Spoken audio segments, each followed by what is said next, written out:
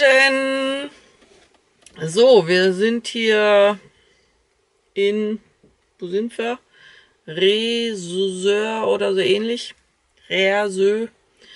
Ähm, schöner Platz hier am Hafen. Kann man Wasser, Versorgung, Chemietoilette, Entsorgung. Hier sind extra Häuschen mit WC und Dusche. Abwasser, Grauwasserentsorgung haben wir nicht gefunden hier. Jetzt geht's auf dem Weg nach Roskilde. Moin. Ich habe gut geschlafen. Falls das einen interessiert. Und du hast gesagt, vorhin geht's so, Ja, weil weil ich so geschnarcht habe. Nein. Mal wieder. meine Frau schnarcht nicht. Sie schnurrt. Wie eine Raubkatze. ähm, ja. Also wir sind jetzt auf dem Weg nach Roskilde. Da gibt es was? Den, den Dom, Den Dom. ähm, wo die ganzen Gebeine von den ganzen Königen ähm, ja, drin liegen. So, und da Oder gucken die wir uns Gräber. mal an. So. Und dann wollten wir weiter nach Stevens Clint.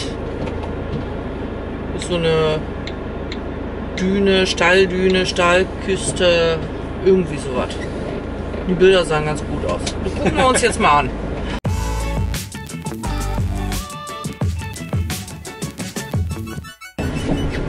So, nochmal zum Platz. Äh, der kostet Du kannst auch in Kronen, in Euro bezahlen. Wir haben jetzt in Euro bezahlt 17 Euro. Äh, war ganz einfach. Der Hafenkontor war geschlossen. Dann schmeißt man das alles außen in einen Briefumschlag. Schreibt die Autonummer dazu, das Nummernschild und schmeißt das in den Briefkasten. Beziehungsweise durch den Briefschlitz, was dann offen in dem Hafenkonto landet. Also auch ganz einfach. Strom, alles mit drin. Ja. WLAN, Free Wi-Fi Ja. und Frischwasser. Und Ja. Chemietoilette. Sagte ich. Und Also Geschirr. ich hatte schon erwähnt.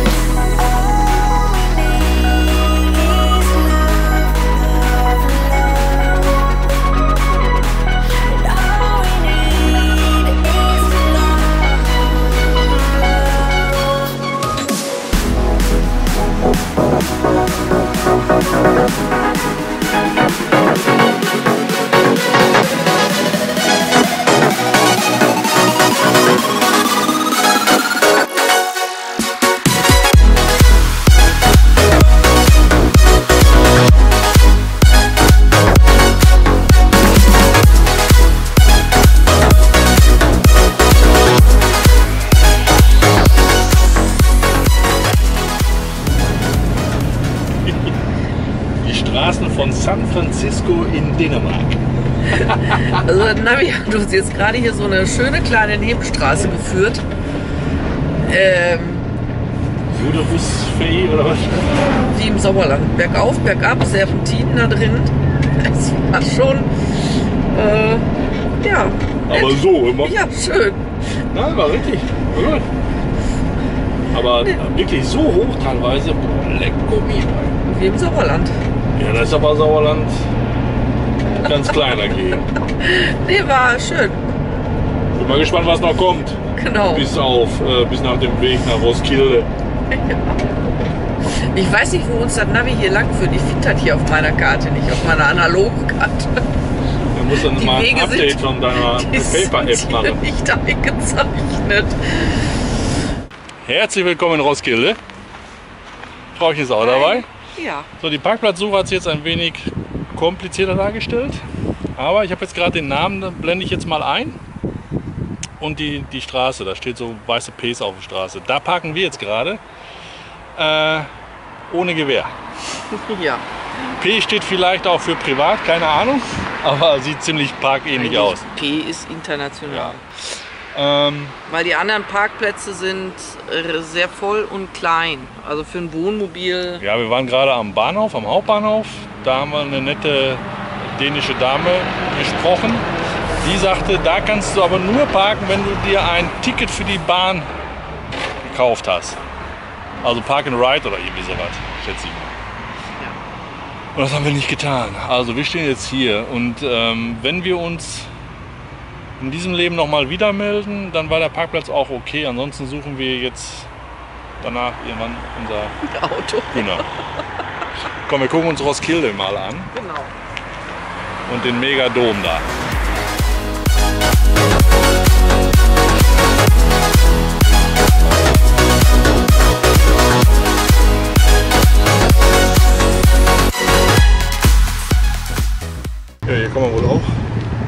Zwei Stunden kostenlos parken.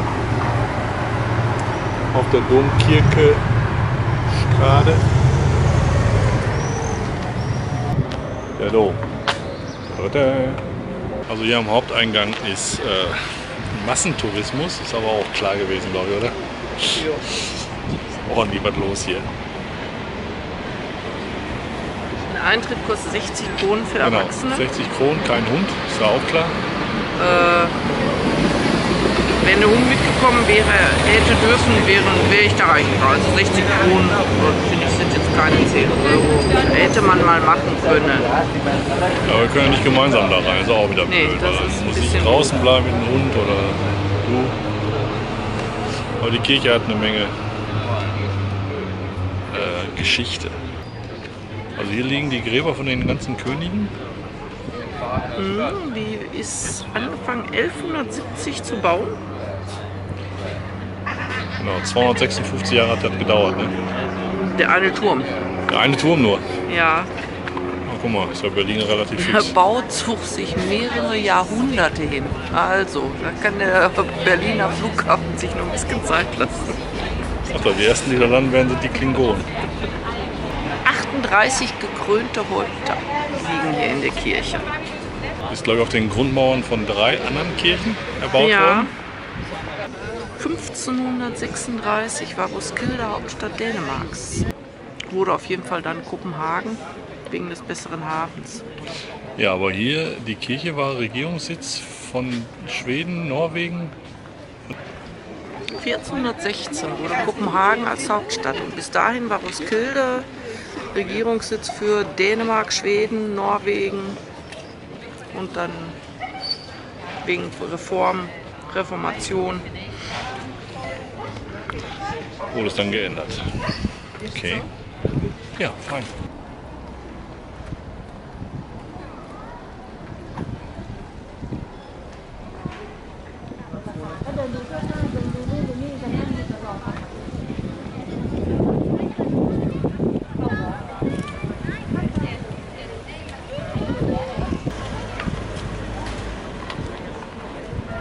Und im Übrigen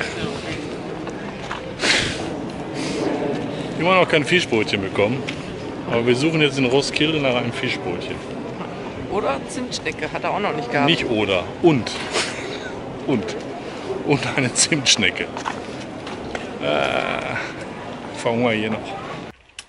Das war Roskilde. Roskilde. Jo. Wir wollten jetzt noch mal zu dem Stevens. Stevens Clint. Heuerbrigade in Store Heddinge. Okay, du stellst, wo er ist.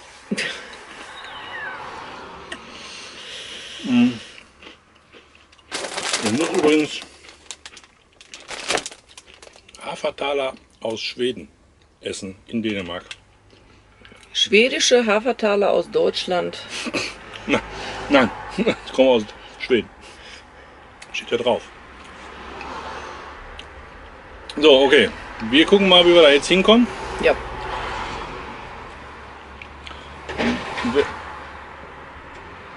Und dann wäre das die zweite Etappe. Übrigens, der Parkplatz hat äh, gut funktioniert. Wir stehen nämlich immer noch hier. Ja. Bis gleich. Morgen! Moin, moin. Also, gestern Regen, heute scheint die Sonne. Wir waren mal wieder spontan. Ja. Ähm, damit wir nicht zu spät bei dem Stellplatz waren, haben wir Stevens Clint Ja. beiseite gelassen, weil heute fahren wir ja nach Mons Clint. Das ist so ähnlich. Weil es auch gestern geregnet hat. Und es hat gestern Nachmittag dann auch noch ordentlich geregnet. Ich auch nicht um Klint rumladen. So, wir standen in Presto am Hafen. Naja, der Platz war mäßig. Es sind da, Wer hat den eigentlich ausgesucht? du, Oh, ähm, es sind Toiletten da, Duschen da. Man zahlt 158 Kronen, wie immer, am Automat. Funktioniert alles wunderbar. Wi-Fi umsonst.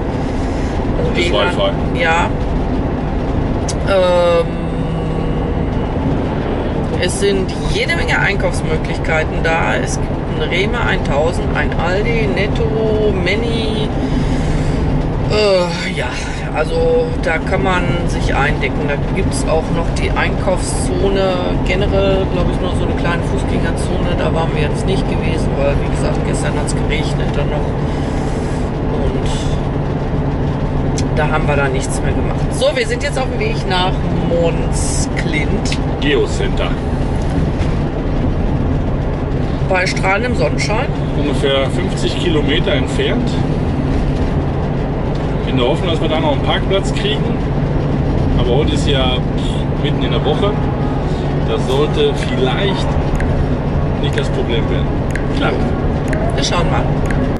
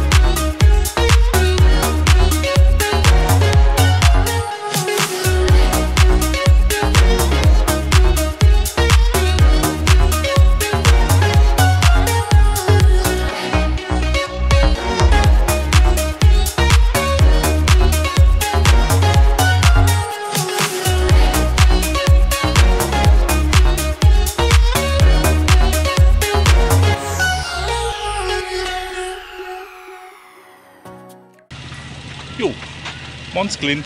Mons Klint. Mons Klint. Möns Klint. Möns Klint, glaube ich. Ja. So, wir gucken uns jetzt hier mal ein paar Aussichtspunkte an und Tritra, Trulala. Parken kostet 5 Euro, habe ich gesehen. Es gibt einen separaten Wohnmobilstellplatz, den wir zu spät gesehen haben. Wir stehen auf dem anderen da jetzt, aber gibt es auf jeden Fall. Also keine Gedanken machen, das passt. Geocenter kostet Eintritt 145 Kronen. Allerdings Hunde wieder nicht erlaubt. Also schenken das. So, und jetzt gehen wir hier die Millionen von Treppen nach oben. Egal. Aber wenn man hochkommt, kann man auch tief gucken. Also hoch da.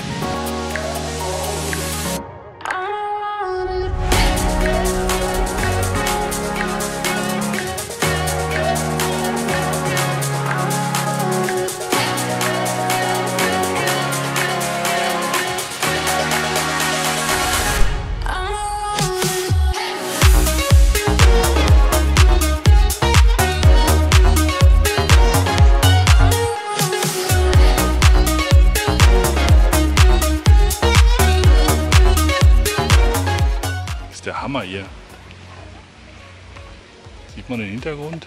Ja, bestimmt. Ne, Maus? Hier, fein hier. Ja, fein.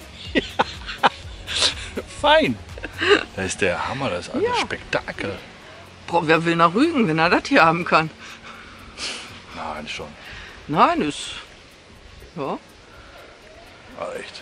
Respekt Natur, ey. Boah. So, wir gucken noch weiter. Hier gibt es so, weiß ich nicht, 80 Millionen Aussichtspunkte hier. Alle schaffen wir nicht.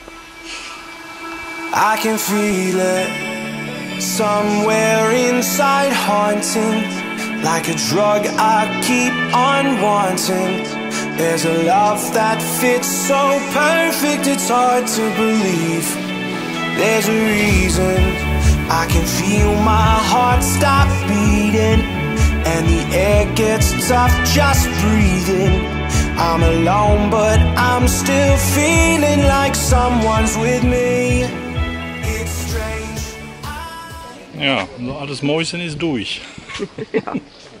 Trepp auf, Trepp ab. Ja, Pause. Time is unfair, cause I know you're out there somewhere. Patient, waiting unaware. Feeling like your grip might slip too soon. But I'm running, chasing speed and gunning. I'll be right there all of a sudden. I feel your heartbeat lead me straight to you. So, Päuschen muss sein. Also ich das gerne nochmal. Empfehlung. Müsst dahin. Ist Pflicht. Ja. Also wer mückenempfindlich ist, sollte sich vorher eincremen. Hier fliegen jede Menge Millionen von Mücken rum. Und gut zu Fuß sein. Aber hier gibt es ja so viel. Das ist jetzt nur die Klippenseite. Du hast ja noch hier die Wälder und die Felder, die Wiesen und Steppen und ich weiß nicht, was. Das ist ein Naturschutzgebiet. Aber ist schön zu laufen. Alles so im Schnatt- Schatten die Wege. Also von daher passt. Tippitopp. Ja. Absolut. Hm, Scully ist ein bisschen durch. Ja. Umso wichtiger sind Pausen, ne? Genießen. Richtig schön genießen. Schau dir mal den Ausblick an.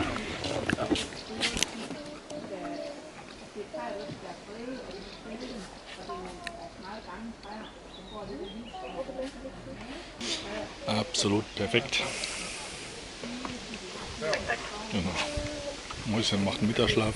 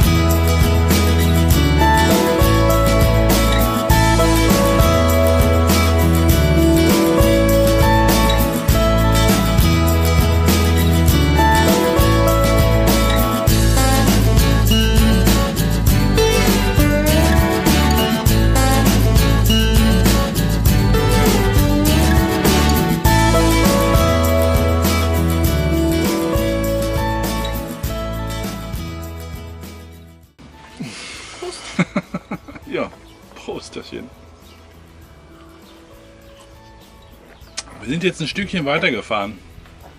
50 Kilometer? 63 Kilometer Entschuldigung, nach, nach Lolland. in Bandholm. Ja, Lolland. Auf Lolland. Auf der Insel Lolland, Bandholm. Sehr schön. Ja. Und hier stehen wir jetzt auf dem Stellplatz.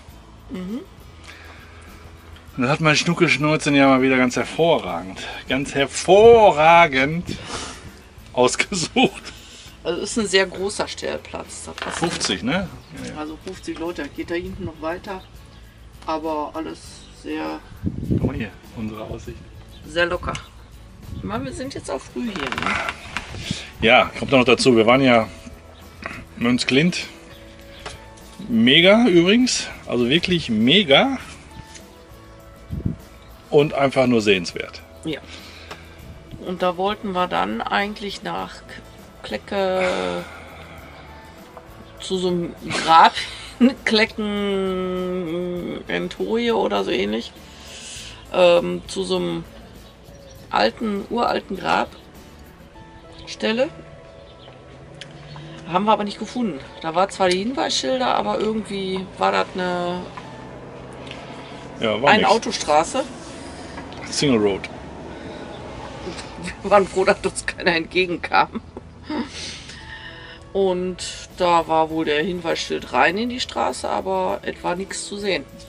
Wir sind wahrscheinlich vorbeigefahren, aber naja. Dann haben wir gesagt, dann fahren wir jetzt hier hin. Wir haben jetzt auch so viel Input wieder gekriegt. Das war. Und das Wetter, ne? Ja. Das ist so heiß. Wir haben jetzt hier knapp 29 Grad. Und da haben wir gedacht, wir sitzen lieber unter der Markise als hinter der Windschutzscheibe jetzt. Ja. Obwohl hier fliegen diese kleinen schwarzen Gewitterfliegen rum, diese.